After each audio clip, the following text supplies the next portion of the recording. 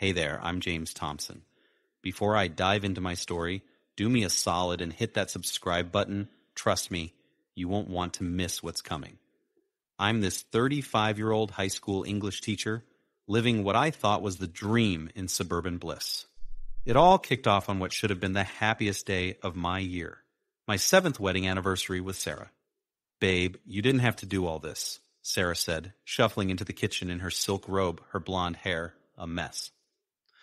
Come on, it's our special day. Least I could do, I replied, sliding a plate in front of her. She smiled, but something seemed off. Her blue eyes, usually sparkling, looked distant. I chalked it up to her being tired from all those late nights at work. So, any big plans for today? she asked, picking at her food. Well, I've got a few surprises up my sleeve, but first I gotta head to school. These kids won't teach themselves about Shakespearean sonnets. The day dragged on, and I found myself checking my phone more often than usual. No messages from Sarah. Strange considering it was our anniversary.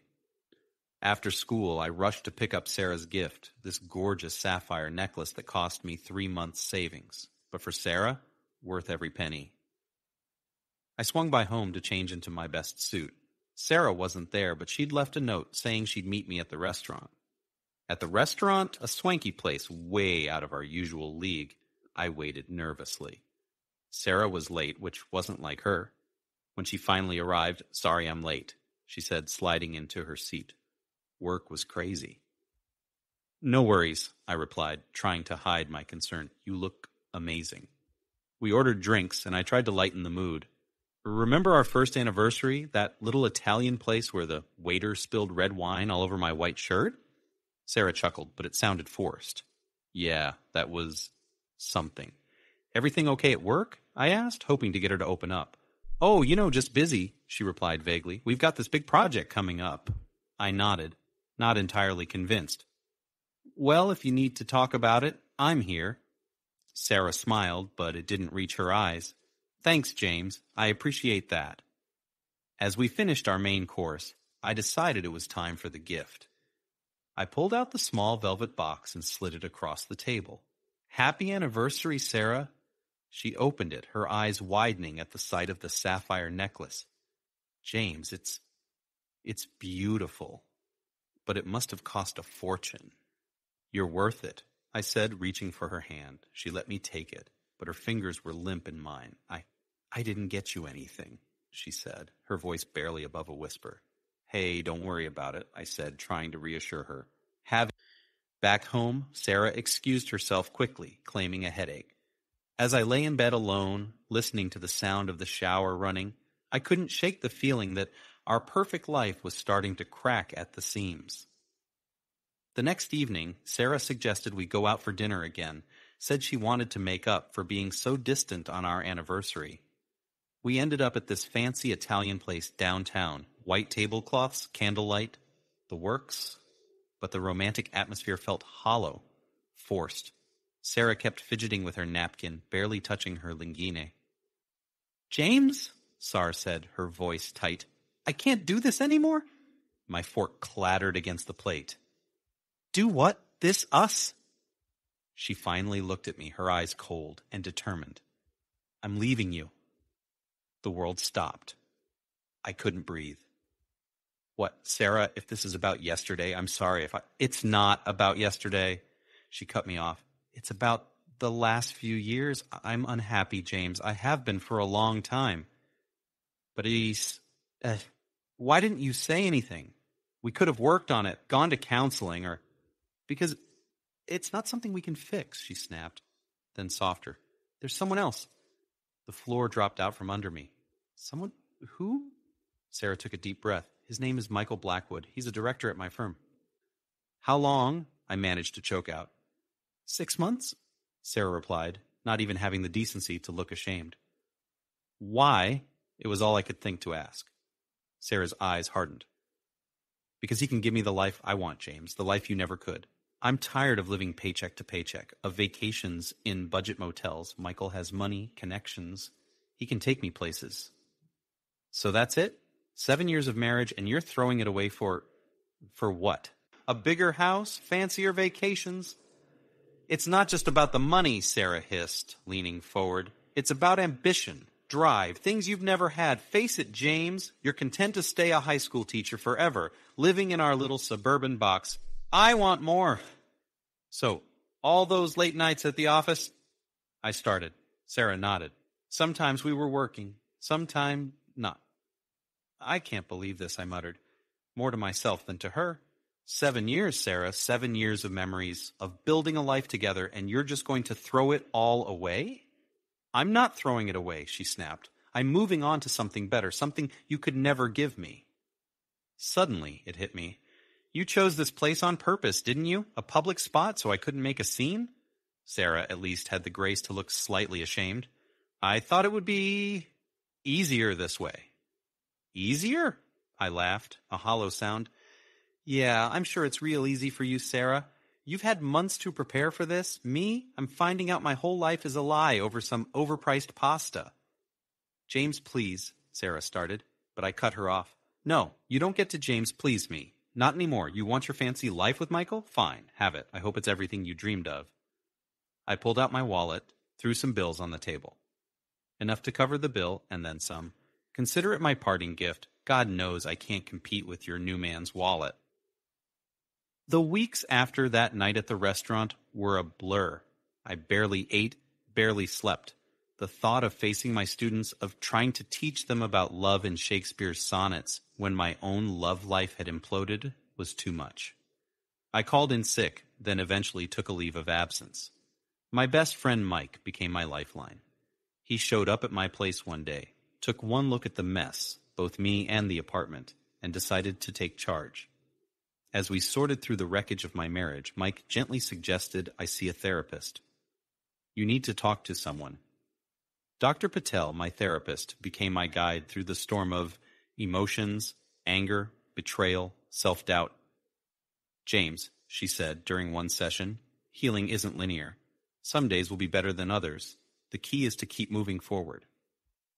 One day, while going through our financial records for the divorce proceedings, I stumbled upon something that made my blood run cold. Credit card statements showed charges for expensive hotels, designer boutiques, even a weekend getaway to the Bahamas, all on our joint account. She was using our money to fund her affair, I told Mike, my voice shaking with anger. Our anniversary savings, Mike. The money we were putting aside for a family. She blew it all on her fling with Mr. Moneybags. Mike's face darkened. That's low, man, even for her. But the hits kept coming. I made the mistake of checking Sarah's social media one night. There she was, plastered all over Instagram, living it up with Michael. Champagne at rooftop bars, shopping sprees at Gucci, vacations in the Maldives. Each photo was like a knife twisting in my gut. Look at her, I spat, shoving my phone at Mike. Two months ago, she was my wife. Now she's arm candy for this rich asshole. Mike gently took my phone away. You gotta stop torturing yourself, James. Block her. Focus on you. Then, out of the blue, I got a call from Tom, a former student who was now interning at Sarah's company. Mr. Thompson, it's Tom Reeves. I. I think there's something you should know. We met at a coffee shop. Tom looked nervous, fidgeting with his latte. What's going on, Tom? I asked. He took a deep breath. It's about Sarah and Mr. Blackwood, their relationship. It's causing problems at work. There are rumors, you know, about favoritism, about how quickly Sarah's been promoted. I felt a mix of emotions curiosity, anger, a twisted sense of satisfaction. Go on, Tom lowered his voice. Some of the other interns, they've been talking. Apparently, Mr. Blackwood has a history. Sarah's not the first, you know. My mind reeled. Not the first what, Tom? Affair, he whispered. He has a reputation for pursuing his subordinates. There was a lawsuit a few years back, but it was settled quietly. I sat back, stunned. So Sarah? Tom nodded. She might just be his latest conquest. As I dug deeper, a pattern emerged.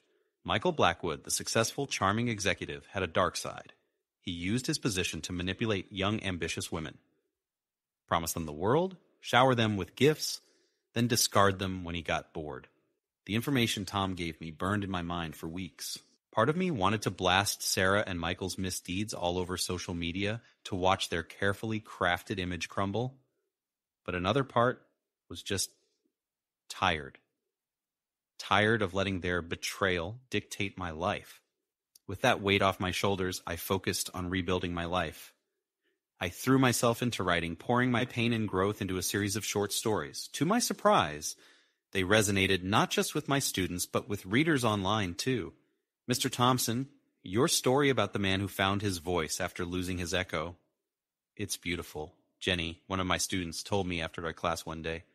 Her words gave me the courage to keep writing, to keep healing through my art. As spring turned to summer, I found myself smiling more, laughing easier.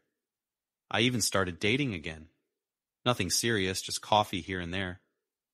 But then I met Olivia, the new English teacher at our school. Months passed and life settled into a new normal. Then, out of the blue, Mike called me. You're not going to believe this, he said. Sarah's company just had a massive shakeup. Michael's been fired for ethics violations, and Sarah's been let go too. It's all over the industry news. Looks like your tip sparked a full investigation. They uncovered a whole web of misconduct. Michael's facing multiple lawsuits. I nodded, processing the information. And Sarah? Mike's voice softened.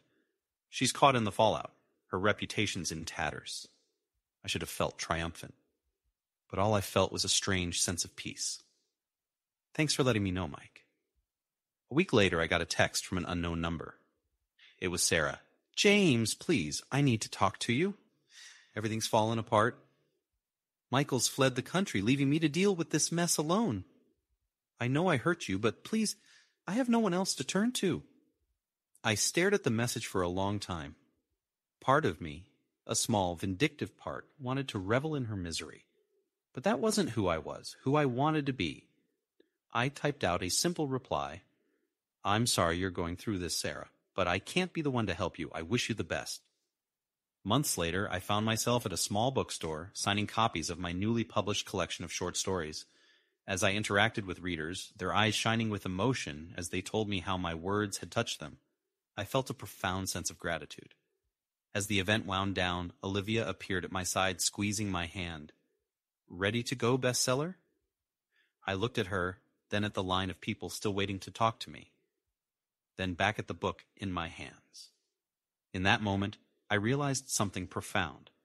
The best revenge wasn't exposing Sarah and Michael's misdeeds. It wasn't watching their carefully constructed world crumble. No, the best revenge was this. The life I'd built from the wreckage they'd left behind, the stories I'd written, the students I'd inspired, the love I'd found again. I had not only survived their betrayal, I had thrived the story of James and Sarah has come to an end. Now I have a question for you. If you were in James's position, would you have anonymously reported Sarah and Michael's misconduct?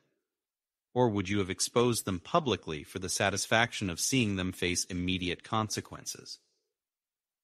What do you think is the most ethical way to handle such a betrayal? If you enjoyed this story and want to hear more like it, don't forget to hit that like button and subscribe to our channel. Your support helps us continue bringing you these compelling narratives of love, betrayal, and redemption. Thanks for watching.